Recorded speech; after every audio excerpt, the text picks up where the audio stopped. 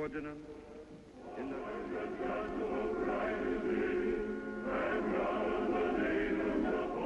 In the proud words of King George, our daughter has married the man she loves.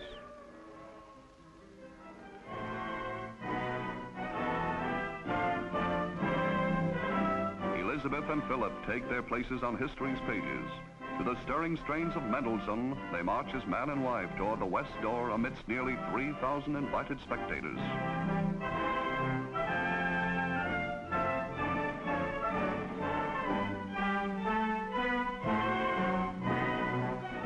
It is a deeply moving occasion, and yet a supremely happy one for the King and Queen as well as the Queen Mother.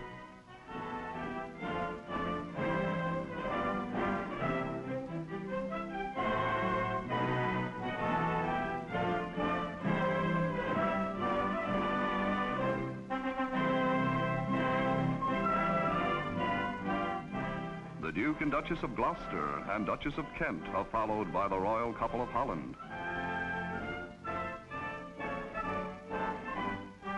Lord and Lady Mountbatten follow, and in the train are members of all the remaining royal households of Europe, many bound by blood ties to Elizabeth and